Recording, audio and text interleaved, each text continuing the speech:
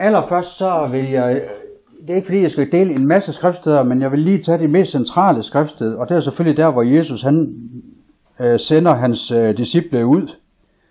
Øh, og den har vi så i Matthæus kapitel 10. Jesus han kaldte sine 12 disciple til sig og gav dem magt over urene ånder, det er altså dæmoner, så de kunne uddrive dem og helbrede al sygdom og lidelse.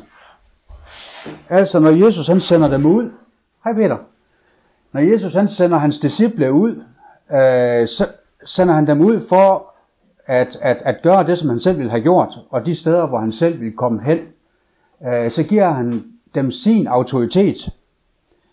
Øh, og faktisk den første ting, han siger, det er, at de får magt over urene ånder, altså over øh, dæmoner.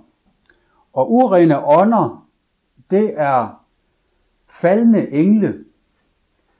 Øh, og vi ved jo så, at, at der var et oprør i himlen, hvor, hvor der var en tredjedel af alle englene, der faldt fra. Og på den gode side, når Jesus han omtaler englene, så kalder han dem for tjenende ånder. Og de tjenende ånder, det er, det er jo engle. Øh, og han siger så alle os, at vi har en. Altså, se til, at I ikke ringeagter en af mine de mindste disciple, fordi at, at deres engle, siger Jesus så, står for Guds trone og ligesom kan sladre om, hvad der sker. Så vi har, det, det er jo især den katolske kirke, hvor man går meget op i skytsengle. Men vi ved jo, at vi ikke skal dyrke englene, ikke give dem opmærksomhed, fordi det hele handler jo om Jesus. Men det er bare for at forklare, at den her åndelige verden er opdelt i lys og mørke.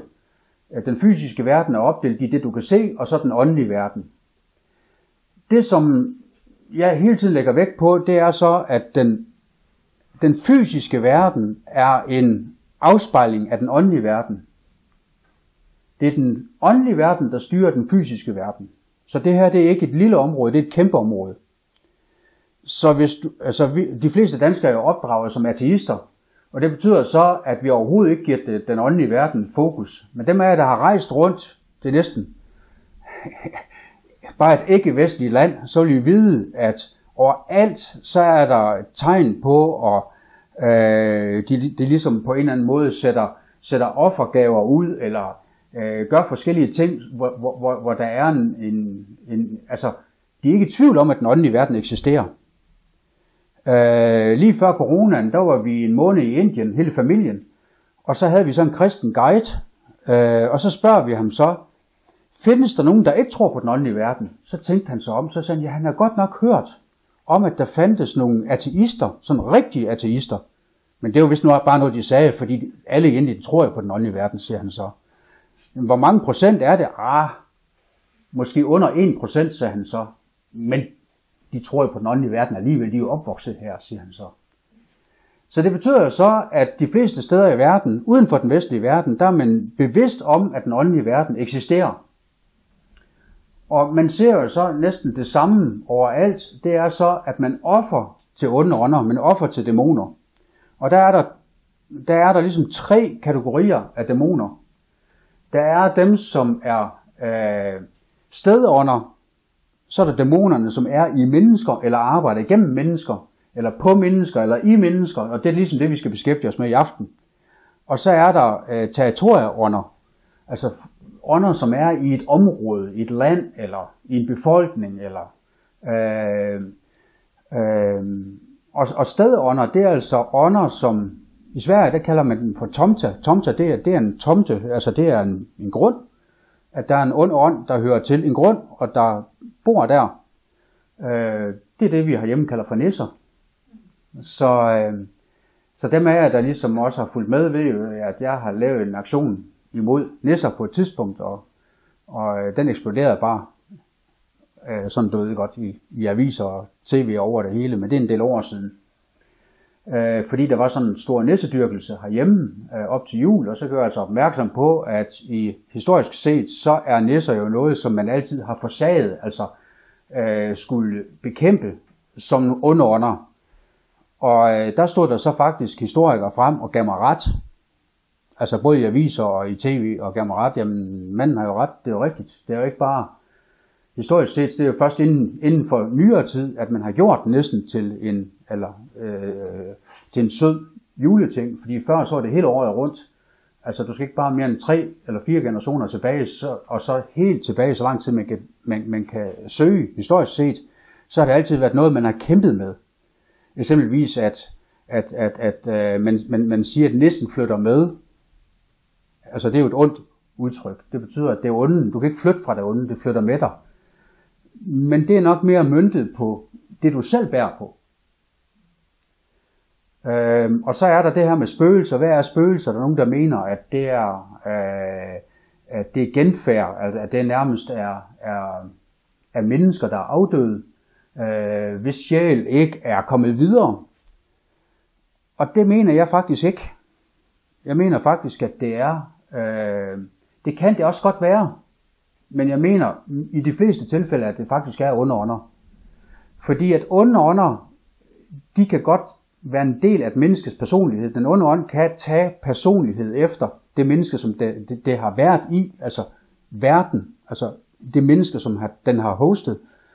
Øh, men modsat, så kan det menneske også bære præg af den onde ånd. Altså de, de blander ånd. Og det er jo fordi, at vi er åndsvæsener. Vi er jo skabt i Guds billede. Så hele den åndelige verden, både på den gode side og den onde side, er åndsvæsener. Og det betyder så, at det er den samme bølgelængde, og hvis jeg ligesom skal forklare det, så dem af jer, der har haft en gammel bil med en gammel bilradio, hvor du skal stille den manuelt, de ved så, at når, man, når bilen har kørt et stykke, så begynder radioen at skrætte. Øh, så skal man lige tune den ind, du ved. Og, eller lige pludselig så kan den springe over på en helt anden kanal. Er nogen af jer, der prøvet det? Ja. Og sådan er der også i den åndelige verden. Det er den samme kanal, der bliver brugt. Fordi vi er nærmest... Øh, øh, og, det, og det er det der ligesom, hvad er det? Hvad er det? Altså, nogle gange kan vi blive i tvivl. Hvad er det, vi har med at gøre? Er det en dæmon, der taler? Eller er det Helligånden, der taler? Eller hvad er det, vi oplever? Øh, men det er bare for at sige, at det, det, det er så hårfin en, en, en, en grænse, øh, så Satan kan også iklæde sig skikkelse som en lysets engel, så du ikke kan genkende ham. Så du har de store religioner, øh, mormonerne, øh, øh, og mange, øh, hvad hedder det, øh, islam, det var lige de to, jeg kom på. Altså, men det er, der er flere store religioner, hvor det er en engel, der har vist sig for grundlæggerne af den her religion. Øh, og så er faktisk Jehovas vidner også men den er lidt mere diskret. Den går de ikke åbenlyst frem med. Øh, så er det en engel, der har vist sig så givet åbenbaringer. Og så har de troet, at det var en Guds engel, men i virkeligheden så er det bare en dæmon, der har vist sig. Og så givet åbenbaring, øh, men falsk åbenbaring, som så går videre. Det som, øh, det, som er interessant for jer, og det som ligesom, nu prøver jeg ligesom at nærme mig emnet, det er, øh, hvis et menneske, det er besat øh, mennesket kan også være påvirket af dæmoner. Så der, vi, skal, vi skal skelne imellem, om et menneske er påvirket eller besat. Og så er der nogen, der siger, at kristne de kan ikke være besat. Besat, der mener du så 100% kontrolleret af en dæmon, eller delvis, altså hvad er graden af det? Fordi jeg har mødt mange kristne, som har dæmoner, der også manifesterer. Øh, og der findes faktisk også religiøse dæmoner. Altså religionens åndsmagter, det er faktisk de værste. Fordi det er dem, der er sværest at afsløre. Øh, så er der, så er der, øh, så er der, øh, hvis jeg ligesom skal nævne nogle ånder, øh, fordi der, der er kategorier af forskellige dæmoner. Øh, der er almindelige misbrugsdæmoner, det er de nemme. De er nemme at uddrive og nemme at håndtere. Øh, de er ikke svære, det er almindelige misbrugsdæmoner øh, inden for alt misbrug. Så er der sygdomsånder, jeg siger ikke, at alt sygdom er dæmoner overhovedet ikke. Meget af det er fysisk, men der findes faktisk også øh, sygdomsånder. Øh, jeg kommer med et eksempel. Øh, René han fik sit gennembrud, da vi gik på gaden, dengang da der var, øh, dengang der Lykken, det var et stort diskotek, det var Nordens største, Nordeuropas største diskoteksområde, det var i Lykken, øh, når du så går 25 år tilbage i tiden. Øh, og der gik vi så på gaden, og der fik vi også erfaring med de her dæmoner her. Øhm, og der René, han fik sat sit gennembrud, hvor, han, øh, hvor jeg sagde, nu skal du bede for de syge, og det har han aldrig prøvet før. Øhm, og så den første, han skulle bede for, der han havde ondt i det ene knæ, og så sagde jeg til René, jamen du kan bede for, for det her knæ, og så bad René for knæet. Øh, og så sagde han, nu er det væk. Altså han havde hævet knæ, og han haltede, og det gjorde ondt. Men nu er det ligesom om, at det kravler op igennem, og så i lysten, og så ned i det andet knæ. Nu går der ondt i det andet knæ. Gjorde det det før? Spurgte, så brød jeg jo ind. Øh, fordi René han vidste ikke lige, hvad han skulle gøre. Så sagde han så, nej, det har han aldrig prøvet før. Så sagde han, det er en dæmon. Så sagde jeg til den, René, tal til den, at dæmonen skal fare ud, sygdomsånd, at den skal gå ud i Jesu navn. Så gjorde han det. Øh, og så er han helt fri. Så der er nogen sygdomme, hvor det er øh, sygdomsånder, månesyge, øh, måske, eller sige andre, alle sygdomme kan være dæmoner. De, de kan give, altså give, give sig udtryk i alle former for sygdom, kraft, alt muligt andet. Altså det er næsten lige meget, det er bare en kategori, der hedder sygdomsånder. Øh, og så skal man tiltale de der sygdomsånder, fordi des mere du kan tiltale dem, des nemmere er de at uddrive. Øh, og de er faktisk nemmere at uddrive. Øh, så man skal vide, hvad det er, man står overfor. Og når, nu, nu, nu venter jeg lige, fordi nu tager jeg ligesom bare det generelle omkring under under det, som jeg ved, øh, og så tager jeg i praksis, hvordan jeg håndterer en udfrielse. Øh, Øh, hvordan jeg gør. Øh, så er der så også, øh, så, så er der, altså der findes et hav af ånder. En ting, det er så, øh, de, øh, som man også skal være opmærksom på, det er slægtsånder. Slægtsånder, det er noget, som er i blodet. Altså ånder, de følger gerne vandvejen, eller blodet. Så derfor så, hvis der er ånder i familien, så får børnene dem automatisk øh, ind helt naturligt, uden at de tænker over det. Det kan være, at der er en familie, der siger, jamen vi kan blive afsindig vrede i vores familie, det er bare en familieforbandelse, eller det er bare noget, vi har i vores familie. Ja, men det er noget, du skal løses fra. Eller alle i vores familie, øh, de laver sidespring, eller du ved godt, eller de kan ikke holde, de bliver alle sammen skilt, eller der er en eller anden forbandelse, der hviler over en familie. Det kan være en sygdom, altså der findes jo også genetiske sygdomme. Så det er derfor, jeg siger, at det, det, er, øh, det er to ting, vi snakker om. Det kan være et fysisk, men det kan også være åndeligt. Og det er man nødt til at afprøve, og ligesom prøve at, at finde ud af, hvad, er det det ene eller det, det andet. Og hvis man har prøvet fysisk at prøve at løse et problem, men ikke kan løse det gentagende gange, så skal man prøve dæmondelen, fordi så er det typisk der, den, øh, den strander, så er der noget dæmonisk. Øh, de fleste, der har en slægtsforbandelse, er godt klar over, at der er noget i slægten, som er anderledes. Og de fleste er også godt klar over, om det er åndeligt eller det er genetisk bestemt. Altså hvis man har dårlige øjne, så, eller store ører, eller man får nemt ondt i ryggen, eller sådan noget ting, så tror jeg ikke, det er dæmonisk. Men det er især sådan nogle ting, som hvor det har noget med, altså psykisk syg, den øh, psykiske sygdom ligger lige på grænsen, det kan være begge dele. Øh, men især sådan ting som det der med voldsomt temperament, eller handlinger, man ikke kan, øh, man er meget voldelig, eller du ved, der er nogle ting, som det, det ligger så tæt op af den dæmoniske del, øh, at det er typisk slægtsånder. Øh, så er der, jamen nu kan jeg næsten ikke engang huske dem, fordi der er, der er et hav af forskellige kategorier, men det lærer man så øh, at finde ud af hen ad vejen. Øh, jamen bare sådan en ting som dødsånder. Øh, det betyder så, at, at, at der kan være meget død ind over en familie, hvor der er mange, der begår selvmord. Det kan også være en dødsånd, der tager over. Øh, det er især sådan nogle som dem, der ryger, eller øh, du ved, mange af dem, eller nogle af dem, er jo øh, er dæmonisk bestemt, hvor de ikke kan blive fri. Altså, øh, jeg har en, øh, jeg har en fætter, han siger så, han siger så, at 10 år efter han er blevet fri for at ryge, der går han stadigvæk og klapper. Altså, fordi han har altid cigaretterne i skjorten her. Han går stadigvæk og gør de der ting, de der bevægelser der, som når han røg for 10 år siden. Det er ikke normalt. Eller øh, Sasha, øh, øh, øh Sasha har, har jo kommet med det her vidnesbyrd, hvor, øh, hvor, hvor hun selv har, har, har sagt, hvor hun selv har oplevet den her øh, selvudfrielse øh, øh, med rygning. Men jeg siger ikke, at alt rygning det er dæmonisk. Men der kan også være nogle ting, som, hvor det er, hvor der er, fordi rygning har også noget med død at gøre. Fordi der er mange, der ryger, der dør før tiden. Altså, øh, øh det siger statistikken jo. Øh, jeg mødte en af de der dødsånder, øh, og det ved ikke, om du kan huske det, Anne, men da vi lige havde overtaget kirken, og lige var flyttet op i lejligheden, og Mika var helt nyfødt, øh, så havde jeg en udfrielse i kælderen, Øh, og det var en mand, han ville gerne være fri for at ryge, fordi han havde, han, han, det fyldte bare hele hans liv. Han, han, han skulle have han en cigar eller en cigaret i munden hele tiden. Så han ville gerne være fri, og han har prøvet alt muligt. Kunne ikke være fri, så han har prøvet alt muligt. Og så laver jeg en udfrielse på ham, hvor så han, øh, han manifesterer helt vildt. Han hoster simpelthen sort slim op.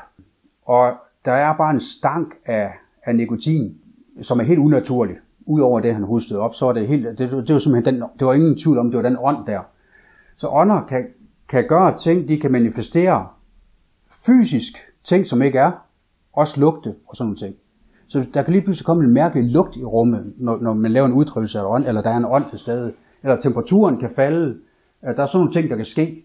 Øh, lys kan tænde og slukke, og øh, der er sådan nogle mærkelige ting, der ligesom reagerer på de onde ånder, eller øh, der på en eller anden måde spiller sammen med. Så den fysiske verden spiller sammen med underånder. Også engle for øvrigt. Det kommer man på hvad side, men nu snakker vi om underånder. Der er en stor frygt i den vestlige verden for, for underånder. Øh, det vil jeg bare lige nævne nu, at, at underånder er altså bange for os, der er kristne. Det er ikke omvendt. Vi skal ikke være bange for dem. Så de fleste de har en frygt for det, især til at begynde med, indtil de lige lærer, der kommer ind i det, fordi de har set sådan eksorcisten, eller set nogle af de der klip, eller ligesom oplevet nogle af de her ting, som er enormt frygtsforbundet. Eller set nogle klip på nettet, hvor det er ekstremt voldsomt. For det første, så, så vil jeg ikke gøre det offentligt. Jeg vil altid, altså, der er simpelthen nogle kristne, der laver sceneshow ud af en uddrivelse. Og derfor så er det jo interessant for dem, at dæmonen manifesterer, og der sker så mange voldsomme ting som muligt, fordi det er jo bevis for, at det de gør er rigtigt. Jeg går den modsatte vej. Jeg vil prøve at nedtone det voldsomme, øh, og så tage kontrol over situationen, fordi at det voldsomme er med til at skabe frygt. Jeg vil aldrig tale med en dæmon. Altså der er nogen, de har en lærer, hvor de spørger, hvad er dæmonens navn og sådan noget, så spørger, de, så spørger de dæmonen, og så begynder dæmonen at tale, og så har de en dialog med dæmonen, det siger jeg klart nej til. Øh, det, det vil jeg klart advare imod, fordi at de er løgnere, og de kommer til at snøre dig. De er langt mere snu end psykopater er. Så hvis du tror, at du er klogere end en psykopat, så er dæmonerne langt klogere end psykopaterne, øh, og øh, kan snøre dig fuldstændig. Så hvornår de lyver, og hvornår det er sandt, så er det bedre at undgå det, og så bare have fuldstændig kontrol over det, og så lade være at undgå dialog med dem. Og dialog, der mener jeg så fysisk, at at den, du laver uddrivelsen på, lige så taler dæmonen ud. Øh, og der gør jeg altid det, at der, der hammer jeg ned på det, og så siger, ti stille i Jesu navn. Det er det første, jeg siger. Øh, og, og, og, og, og nogle gange, så taler dæmonen faktisk med en helt anden stemme, hvor det er, hvor det er en kvinde, der kan tale med en mandestemme, eksempelvis. Og det har jeg også før oplevet nogle gange, men det slår jeg ned på det med det samme, og så beder dæmonen om, eller befaler dæmonen om, du kan ikke, du kan ikke forhandle eller bede dæmonen om noget, den skal befales altid. Så befaler jeg dæmonen om at tage stille i Jesu navn. Det er korte, øh, konkrete, tydelige kommandoer, du skal give i, i en dæmonudfrielse. Øhm, nå, men tilbage til den her oplevelse. Jeg ved ikke, om du kan huske den, Anne. Ja. Konen var med, altså Øh, konen til ham der, der skulle udfries for, for røg, øh, tobak, han var med. Hun var med, øh, og udfrielsen var voldsom. Øh, og så lige pludselig, så dør han. Sådan her. Han holder bare op med at trække vejret og falder sammen, og bliver helt blå i hovedet. Han trækker simpelthen ikke vejret. Puls, han har ingen puls. Og hun råber og skriger, nu dør han. Flemming dør, Flemming dør, råbte hun så bare. Han er død. Øh, du slår ham ihjel. Og så kommer Anne løbende ned, fordi hun godt høre det her på styr. Øh, og hun er sygeplejerske, så med det samme, så tager hun pulsen. Og så siger ja, der er godt nok ingen puls.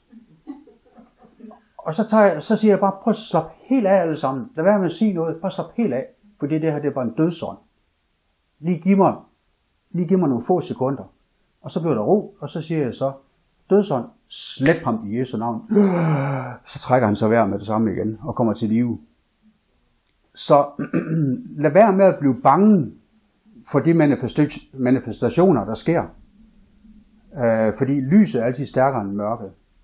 Øh, så uanset hvad der sker, hvor voldsomt det end kan virke, de fleste, jeg vil sige 9 ud af 10, eller 8 ud af 10, vil jeg hellere sige, øh, dæmonuddrivelser er øh, ganske harmløse, hvor der stort set ingen manifestationer er. Så jeg prøver altid at undgå manifestationer. Altså at det betyder så, at de manifesterer igennem, dæmonen manifesterer, taler eller reagerer, eller øh, den man uddriver kaster op, eller sådan nogle ting. Øh, jeg tror lige, at kort allerede nu vil gå ind i at fortælle, hvordan jeg gør det. For det første så er jeg aldrig alene. Det er vigtigt, at, at du ikke er alene, fordi nu vil jeg gerne opfordre jer til at gøre det.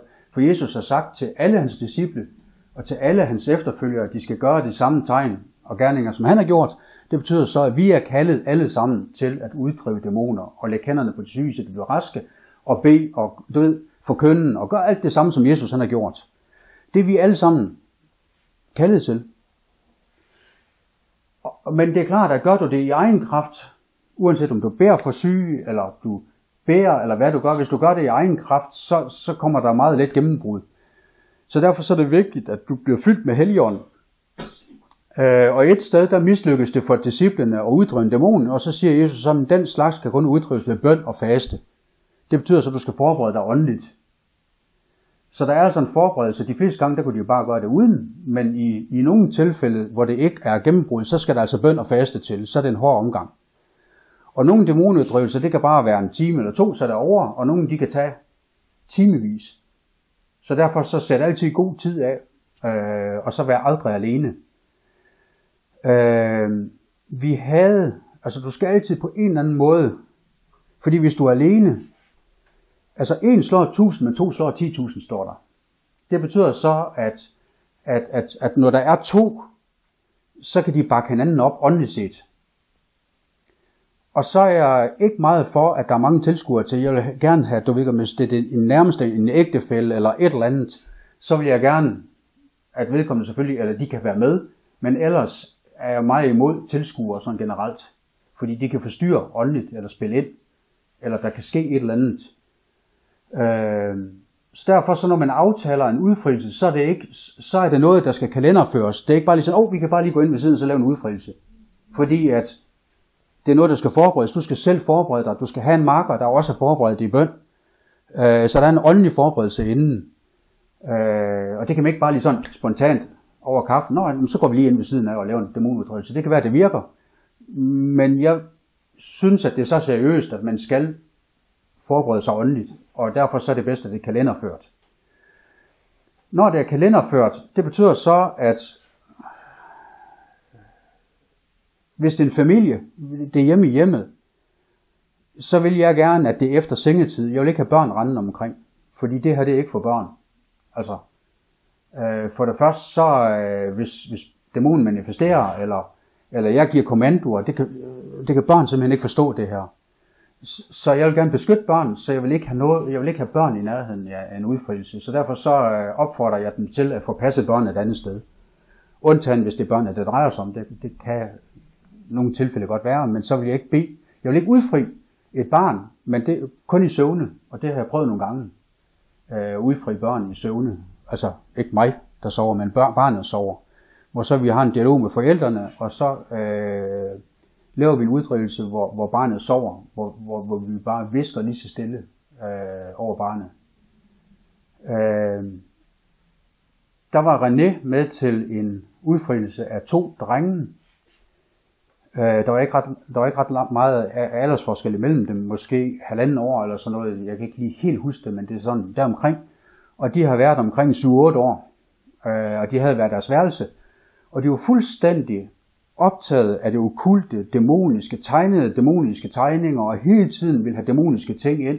Og forældrene synes bare, at det var mærkeligt, og de havde så også stedånder. Så derfor så aftalte vi det, at vi skulle udtrykke stedånderne, altså vi kom allerede, vi kom først kl. 10 om aftenen, hvor drengene var lagt i seng, og så uddrev vi stad, stadånderne, og så, øh, fordi det er ligesom, det skete efter, vi var flyttet ind i huset.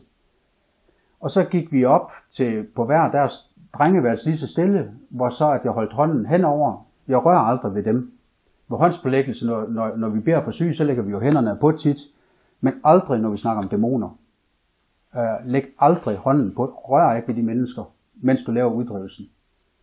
Øh, det skal jeg nok fortælle bagefter, men nu fortæller jeg lige den historie færdig. Så jeg holder hånden over, øh, og så befaler, at de dæmoner, den skal komme ud af, så nævner jeg drengens navn, og de skal komme ud i Jesu navn. Det visker jeg så over. Det er samme over den anden seng, i det andet rum. Øh, og så om morgenen, så ringer konen til René, fordi det er René, der har kontakten, og siger, at det er helt forfærdeligt. Drengene klokken to om natten, der kastede de begge to op synkront, hvor de bare brækkede sig, brækkede sig, brækkede sig. Øh, og så er det over. Men det er jo helt naturligt. Det er så fordi dæmonen kommer ud, øh, og det skete synkron på den begge to, hvor så de kastede op fysisk. Og så er det over, og så er det helt fri, og så var hjemmet befriet for den her, de her plageånder her. Og drengene havde ikke det fokus længere. De var helt anderledes efter det her.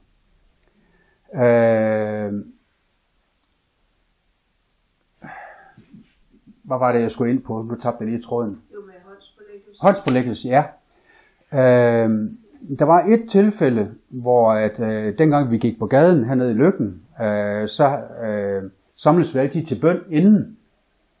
Og der var der så en, øh, der var der så en af dem, der var til stede, altså en af de kristne, som skulle op og viden. Og dengang han kom op for at skulle viden eller sige et eller andet, det var sådan, hvis der er nogen, der havde et ord, eller havde et eller andet profetisk, så kunne de stå frem. Og vi var nok en 30 stykker, der skulle ud den nat. Øh, og så, øh, så kan jeg se, da han gik op, der begyndte han sådan døde godt. Og så tog han mikrofonen, og så begyndte leden at hoppe ud og bevæge sig den vej og den vej som en slange, ikke også? Og så begyndte han fuldstændig at ændre, ændre udseende. Øh, og det gjorde dæmonen kun for at skræmme dem, der skulle ud på gaden. Og de var fuldstændig, øh, helt, altså folk var jo helt vildt bange, og, øh, øh, men jeg gik bare op, og så øh, øh, sagde, nu går du ud. Og så sendte jeg en af medlederne med ud, og da jeg nåede ikke, fordi nu skulle jeg så forklare forsamlingen, det her det er altså en frygtsånd, der prøver at skabe frygt. Øh, så, fordi han manifesterer, normalt så gør dæmonerne det ikke kun, kun hvis det har et formål, fordi dæmonerne vil gerne gemme sig.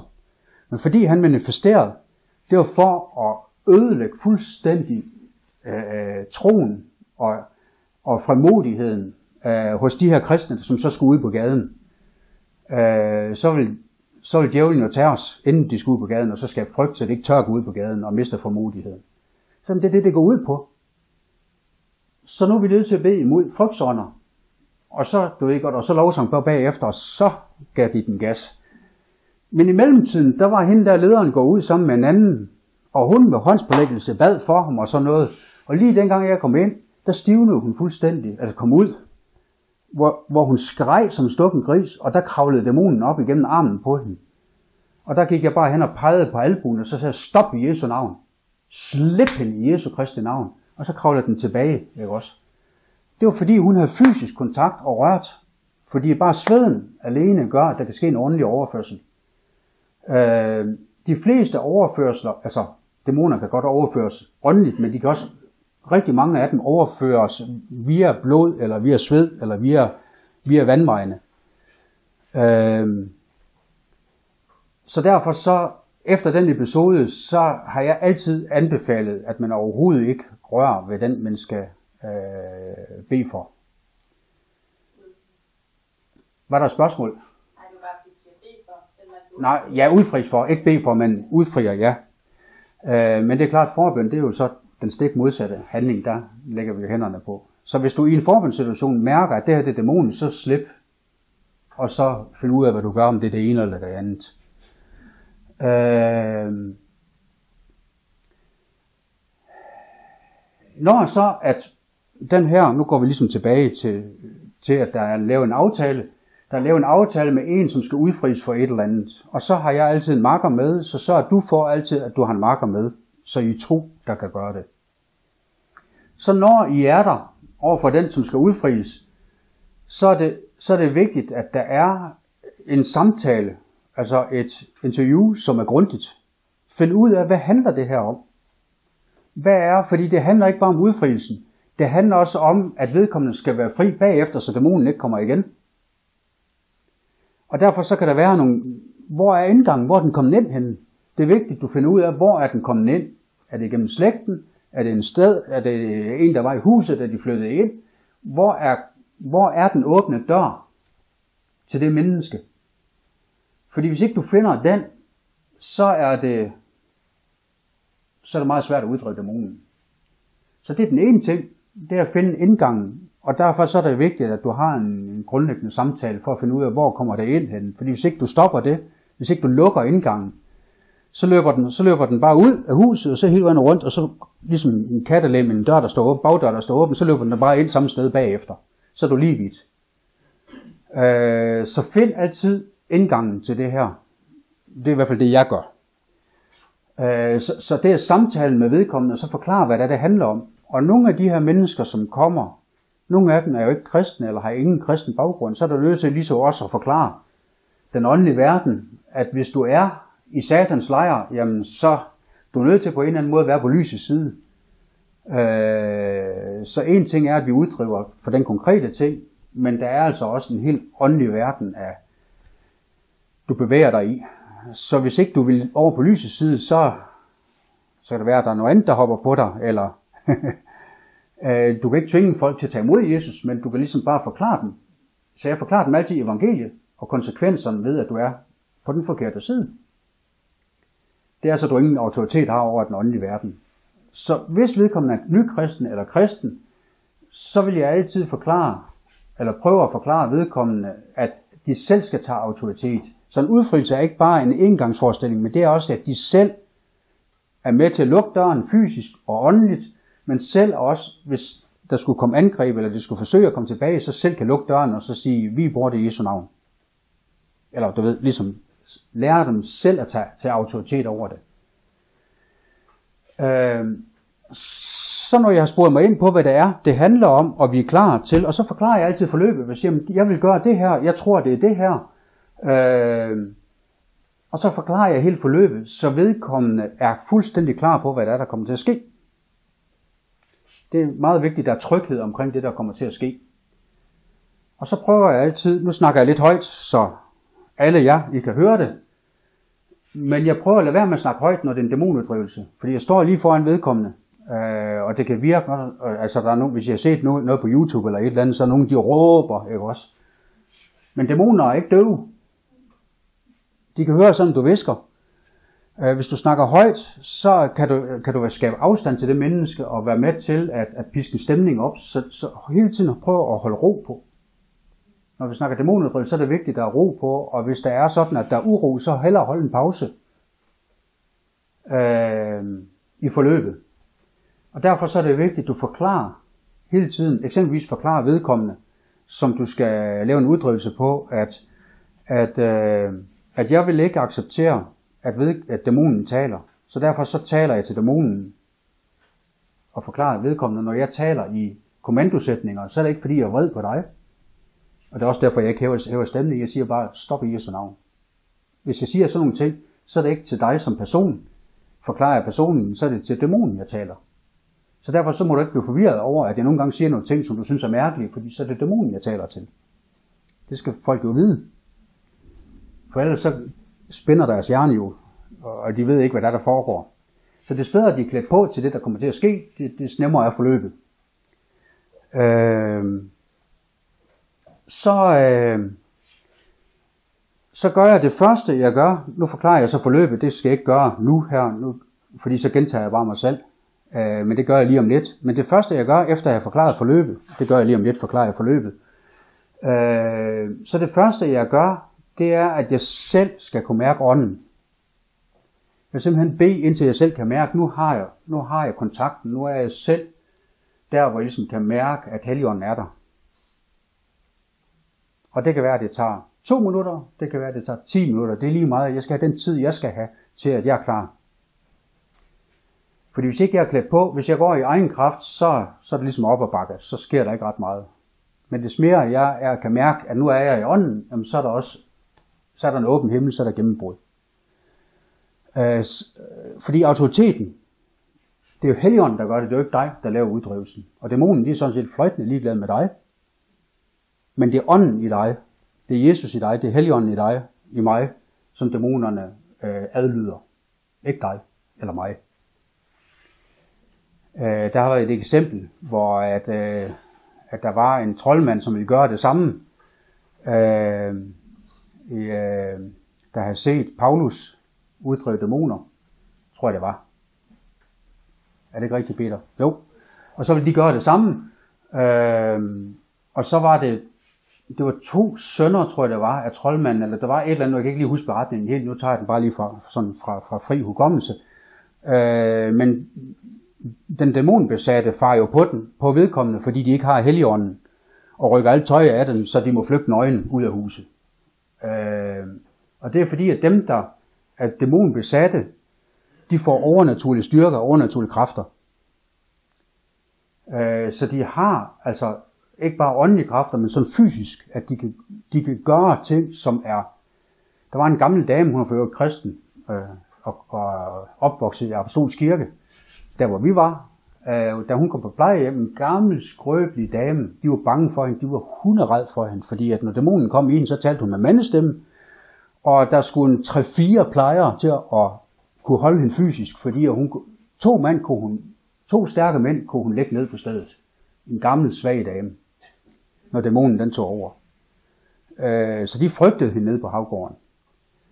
Øh, så derfor vi skal ikke frygte noget som helst, men derfor det er vigtigt, at vi er i ånden og opererer i ånden, i helligånden og ikke i egen kraft.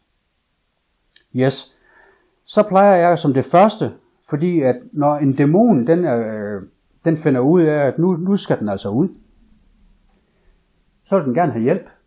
Det er lidt ligesom drengen i skolegården, hvor de, hvor de andre fra, fra, øh, fra, fra en anden klasse, fra en større klasse, de har omringet drengen, så råber han selvfølgelig på hans klassekammerater. Fordi nu ved han, at han skal have bank eller have buksevand.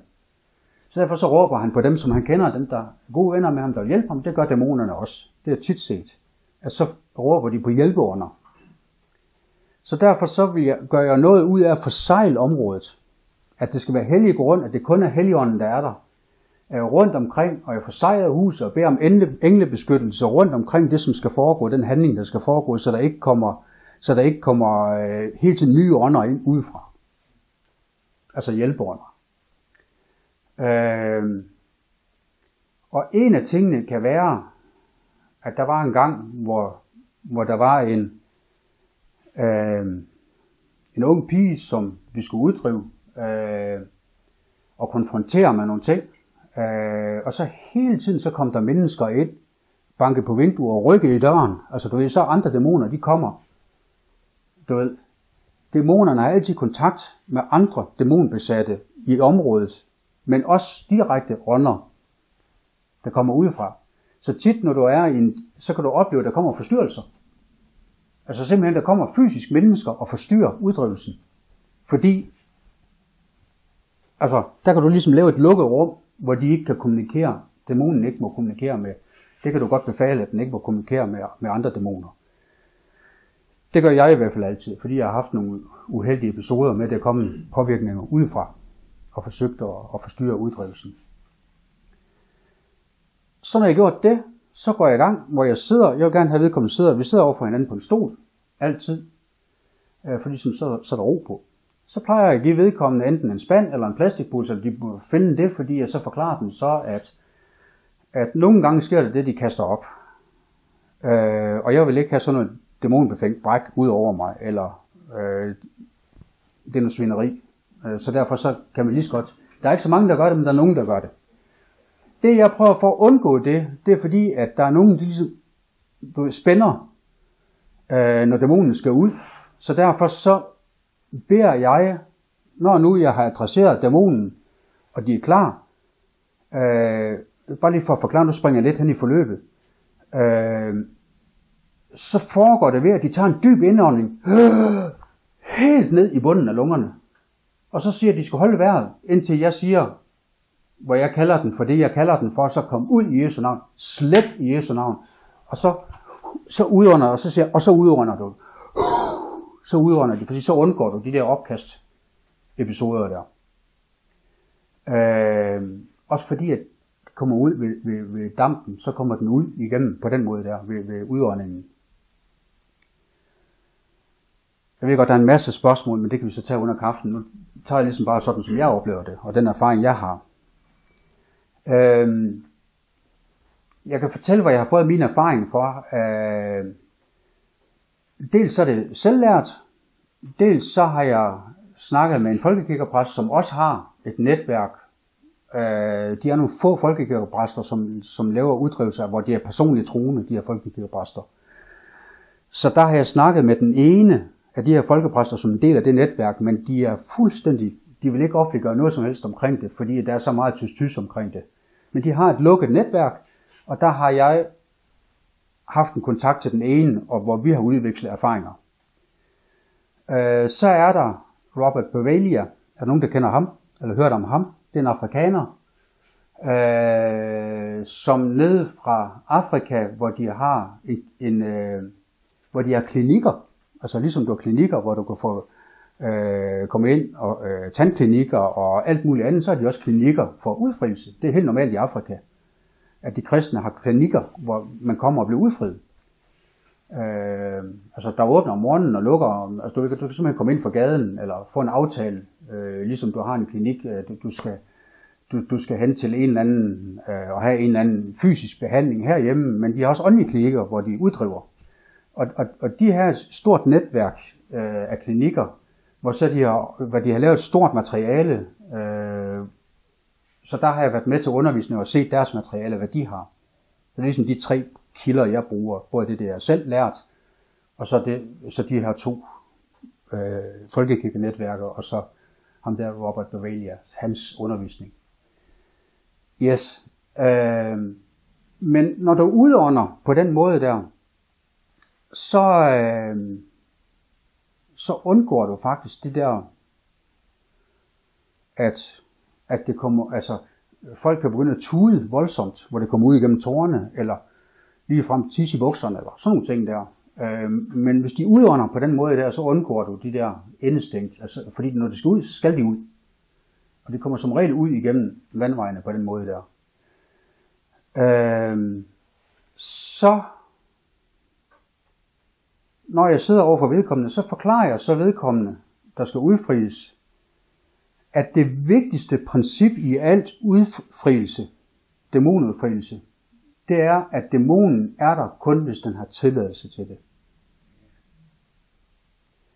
Indirekte eller direkte har den, der er dæmonbesat, selv åbnet en dør. Uanset om det er familien, så er det også en åben dør. Altså slægtsordner. Så din frie vilje, eller den, der skal udfries, frie vilje, er altafgørende. Og hvis ikke jeg mærker, at der virkelig er en ægte, så stopper jeg simpelthen udfrielsen. Så pakker vi sammen, og så tager jeg hjem, så jeg vil ikke fortsætte. Fordi så er det spild af tid. Og nogle gange så snyder de mig simpelthen, hvor de siger, at de vil være frie, men i virkeligheden så vil de ikke. Det skal vi være klar over. Det er ikke fordi, at heligånden er svag, eller du er svag, hvis ikke det, det lykkes, eller der er en blokering. Det er fordi vedkommende kan godt sige med sin mund, men i sit hjerte ikke vil slippe. Og hvis ikke der er den der ægte, at du vil slippe, det er simpelthen vigtigt, at du får den der afklaring. Vil du være fri? Hvorfor vil du være fri?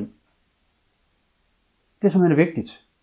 Og derfor så kører det hele på den frie vilje, hvor jeg taler til, til vedkommende, hvor jeg så først spørger, vil du være fri? Vil du gerne have den her slægtsånd? Og det er jo et dumt spørgsmål, fordi så sad de jo ikke. Men de er nødt til at sige det ud med sin mund, hvor du siger det højt. Nej, jeg ønsker ikke vredens ånd, eller jeg ønsker ikke en selvmords ånd i min, som kommer fra min. De er nødt til at sige, hvad det er, og sige, at de ikke ønsker den, og de vil bryde med den, og de gerne vil have, at den skal ud. Det er de nødt til at sige med deres egne ord. For hvis ikke de siger det, så har dæmonen ret til at være der. Så du er nødt til at skal fratage dæmonen retten til at være i det, og det er kun det menneske, som du sidder med, der kan fratage dæmonen retten. Det kan heligånden ikke gøre, det kan du ikke gøre, det er kun personen selv, der kan fratage dæmonen den ret. Så derfor så er det vigtigt at få en tilkendegivelse, der er tydelig, at vedkommende ønsker ikke den dæmon. At den skal ud. Og så udfrielsen foregår på den måde, når så lidt laver den dybe indånding, så kalder jeg det for, hvis det er øh, hvis, hvis det er dødsdæmonen, i, øh, hvis det er selvmordsdæmoner eller et eller andet, så kan du selv, selvmordsdæmon, så har det lige lavet indtrækning, kom ud i Jesu navn, og så udånder den. Men inden da, så skal vedkommende sige den her sætning, og jeg, det kan virke som, som en mærkelig sætning, at inden de indånder, så, siger, så skal vedkommende sige, jeg frasiger mig, og så den ånd, det handler om. Så jeg siger en sætning, som vedkommende skal sige, efter de har sagt, altså de har sagt, de ikke vil have den i interviewet, men så lige inden vi laver uddrivelsen, der skal de sige det en gang til, jeg frasiger mig øh, dødsånden fra min slægt, og så skal du gentage efter mig, så den, der skal udfries, gentager, jeg frasiger mig øh, dødsånden i min slægt, og så siger og så trækker du vejret dybt ind, så du øh, dødsånd, slægtsånd, kom ud i Jesu navn, og så udånder du nu, og så kommer den ud. Hvis så jeg kan mærke, jeg skal, jeg skal selv kunne mærke inde i mig selv, om, den, om der sker noget, eller jeg kan se, der sker en reaktion. Hvis ikke jeg kan det, så beder jeg vedkommende om at gøre det igen. Så gentager hele forløbet en gang til. De frasiger sig igen. Dyb indånding. Og jeg kommanderer den til at skal komme ud i Jesu navn, og så kommer den ud. Øh, og nogle gange kan jeg være helt op på at gøre det tre eller fire gange, for at være helt sikker. Eller gøre det en ekstra gang. Hvis ikke du ligesom mærker. Så kan du tage en pause, og så spørge vedkommende efter. Hvis ikke du kan se nogen reaktion, så spørger vedkommende, hvad oplevede du? Jamen, men jeg oplevede ingenting. Jamen, så prøver vi igen. Altså, det kan jeg godt finde på at gøre. Øh, men tit så oplever de et eller andet med, om jeg oplevede bare, at der, det isede over det hele, eller jeg oplevede en varme, der kom indenfra, eller jeg oplevede, at jeg havde kastet op fornemmelser, eller nogen begynder at græde, eller et eller andet, altså, så kan du ligesom se, at der sker noget. Hvis ikke der sker noget, så, så er der et eller andet galt. Der skal ske et eller andet. Ikke fordi jeg vil have en stor manifestation, men der, skal, der er nødt til at skal være en lille manifestation, hvor der sker et eller andet. Så når nu den er kommet ud, så nogle gange så kan jeg få en tilskyndelse. Altså tilskyndelse betyder, at Helligånden minder mig om, at der er noget mere, der sidder fast, der skal ud. Og så tager vi det, indtil jeg kan mærke, at der rydder op, eller min marker kan mærke, at der er et eller andet, og så bliver der ryddet op. Og det kan også være, at jeg får et profetisk ord, eller får et kundskabsord, øh, eller min makker gør, og så er det ligesom det, vi handler på. Eller en profetisk handling, vi skal gøre. Øh, kender en fra Jørgen, han, som også gør det samme, som jeg gør. Øh, nu bor han ikke i Jørgen længere, men vi er jævnaldrende. Øh, og han fik en tilskyndelse til, fordi der var en, der havde en kraftknude, hvor han bare skulle bede, så fik han den tilskyndelse fra Helligånden. Giv ham en kæmpe knytnæve så han sukker sammen i maven. Og Helion blev bare ved med at sige det. Og til sidst så sagde han så, jeg er nødt til at gøre en profetisk handling, og det kommer til at gå ondt på dig. Og det skal han ham lov til, og så gav han ham en kæmpe knytnæve. Og i det, han gav ham knytnæven, der var kraftknuden væk. Der kunne han mærke, at kraftknuden forsvandt. Det det er en profetisk handling, som giver et, altså det er spontant, du kan ikke forudsige sådan noget, du kan ikke, du kan ikke skrive det ned eller planlægge det, det er en spontan indskydelse. Men husk altid at konferere med den, du står overfor, som skal, du skal lave uddrivelsen på, fordi at det er, et, det er et meget specielt forløb, hvor der nødt til skal være en tillid. Så lad være med at overskride. Bed altid om lov, eller forklare det, du gør. Så der er en, en, en, du må ikke bryde den tillid, der er imellem den, der skal uddrives, og så dig. Der er nødt til skal være, du skal ikke bare lige, lige pludselig råbe dem ind i hovedet, eller, eller øh, gøre et eller andet fuldstændig vildt, hvis du får en tilskyndelse til det. Du er nødt til at spørge først pænt. Jesus spurgte også, vil du være rask? Så Jesus arbejdede også med menneskers vilje, også omkring helbredelse, hvor han spurgte, vil du være rask? Det, det er jo indlysende spørgsmål, selvfølgelig vil de ikke. Selvfølgelig vil de det, men, men det, at de siger det, er med til at aktivere helbredelsen eller aktivere udfrielsen. Det fungerer lidt i begge lejre på den måde her. Uanset om vi snakker helbredelse eller udfrielse. Også med den, den, at arbejde i den profetiske dimension. Yes. Når så det, det er sket, nogle gange så kan jeg simpelthen mærke, at ånden er derinde, at den ikke, den er i rummet. Og hvis jeg mærker det, eller min marker mærker det, eller vedkommende øh, stadigvæk er bange, øh, som skal udfries, eller er blevet udfriet, så, så kan jeg finde på at gøre det, så nu åbner vi døren, og nu åbner vi et vindue, og så siger jeg til ånden, forsvind fra det her område, forsvind fra det her hus, forsvind, og så ud, og så lukker vi vinduet. Det er virkelig lidt banalt at gøre det på den måde, men fordi de fleste ånder kan jo, men der kan være et eller andet med, hvorfor vil det ikke ud? Altså, ved, det kan jeg ikke lige helt forklare, men nogle gange er det nødvendigt at gøre det på den måde der. Øhm, jeg har selvfølgelig en masse historier, jeg kan krydre med, men det er sådan set lidt unødvendigt. Øh, det er kun sådan, du ved. Fordi så bliver det historien for historiens skyld. Nu prøver vi ligesom at have undervisning her, hvordan jeg gør det. Så når jeg er færdig med det, og jeg kan mærke, at nu er det helt, øh, nu er den helt væk, når det er helt ro. Øh, du skal kunne mærke en åndelig ro, og den, der er blevet udfriet, skal også kunne mærke en åndelig ro. Så skal der være en opfølgende samtale altid bagefter, hvor noget af det, jeg forklarer vedkommende, det er, at den onde ånd vil gerne tilbage. Den savner dig, og vil gerne tilbage. Så den gør alt, hvad den kan for at komme tilbage. Og især sygdomsånder, det er det samme. De gør alt, hvad de kan for at komme tilbage. Det betyder så, at mennesker, der er øh, mennesker, der er blevet helbredt på mirakuløst vis, kan, du ved godt, der ikke kunne gå, kan lige pludselig gå. Der er et eksempel med en her fra Lykken. Øh, der var til et helbredelsesmøde. Han sad i rullestol, han kunne ikke gå. Han kom gående hjem øh, og kunne lige pludselig gå. Og så hans kone sagde til ham dagen efter, du skal ikke bare tro, at det er indbildning, du er ikke helbredt. Så satte hun ham ned i en stol, og for det øjeblik, han sad i stolen, der var han lam i benene igen. Eller at du mærker symptomerne. De fleste, der har, hvor det er under ånder, vi snakker om med sygdomsånder, de mærker, som, og det forklarer jeg lige vedkommende, hvis det er sygdom, vi snakker om. De mærker symptomerne et stykke tid efter. Og det er fordi ånden gerne vil tilbage. Så hvis du siger, åh oh, nej, nu bliver jeg syg igen. Hvis du siger det til, til din ægtefælle, eller til dem, du er sammen med, åh oh, nej, nu kan jeg mærke, at det kommer igen. Det er symptomerne, det betyder ikke, hvis du mærker smerten, er det ikke det samme, som du har sygdommen. Er I med? Det er den onde ånd, der prøver at komme tilbage. Så hvis du siger, så åbner du en dør. Hvis jeg siger, åh nej, nu er den kommet igen, nu har jeg det igen. Upsi, det var en åben dør, så hopper den lige ind, sygdomsånden igen.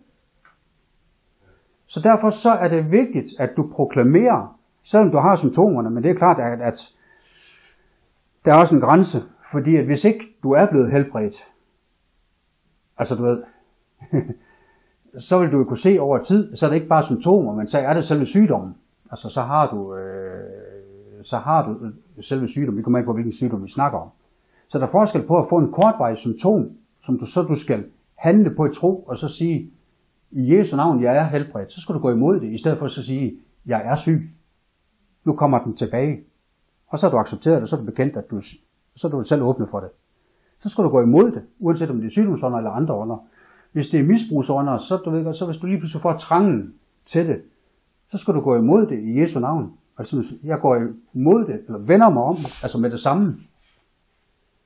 Det kommer an på, hvilket misbrugsområde vi snakker om. Eller det er lige meget, hvad du bliver udfriet for. Altså hvis du lige nu kommer frygtens ånd over mig igen, så sig, gå i Jesu navn. Du ved, og det er en rigtig, rigtig god fordel at være en kristen. Øh, jeg har selv flere eksempler på folk, der ikke er kristne, hvor det virker, hvor de siger i Jesu navn, at det skal gå. Øh, det er lidt sjovt. Det kan jeg ikke forklare, hvorfor. Så spørgsmålet er, om de er kristne i hjertet, eller de siger, at de bare ikke er kristne, eller det, det kan jeg ikke afgøre. Øh, men det er i hvert fald en kæmpe fordel at være en kristen, fordi så er du klædt på til at kan gå imod det i Jesu navn, når du prøver at komme tilbage. Det er den ene ting. Så den anden ting, det er, at over tid, der bliver der dannet et spor. Det er noget med vanens mønstre. Der bliver der dannet et spor. Det kan være i hjernen, der er et spor for en misbruger. Øh, der er der jo også i mange tilfælde en hjerneskade, hvor du ligesom, du ved, du gør ting, du har adfærdsmønster. Øh, hvis det er rygning, så lad være med at stå med ry, sammen med rygerselskabet. Der er altid to selskaber. Rygerselskabet, dem der står og ryger sammen, og så dem der bare, du ved ikke, skue strække ben. Lad være med at stå sammen med rygerne, eller du ved, altså, øh, prøv at ændre adfærd. Vær bevidst om dine handlinger, fordi der er nogle automatiske ting, du gør er vanen, som er med til at åbne op for, at dæmonen kan komme igen.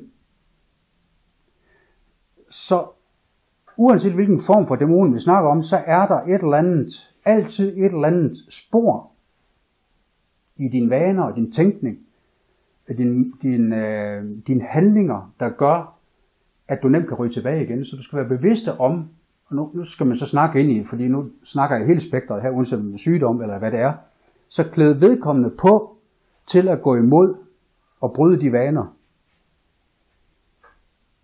og få sunde vaner ind i stedet for. Det kan være, at du skal bede noget mere, eller læse noget mere i Bibelen, eller høre noget mere lovsang, eller du ved, altså, det er en måde at skifte spor. Hvis du døjer meget med depression, ikke også? og det er depressionsånder, vi snakker om, jamen så, så lad være med at hele tiden være selvcentreret, og øh, prøv at være sammen med andre mennesker, Vær sammen med glade mennesker. Lyt til dejlig lovsang, og sådan, altså, bryd sporet, det negative spor, hvor du er vant til at sidde og tude og være en og trække dig hele tiden. Så gå ind, altså bryd dine egne grænser, og så skift spor, så du ligesom ikke bliver i det samme spor. Det er det vigtigt, at du forklarer vedkommende. Yes, det var en lang smør.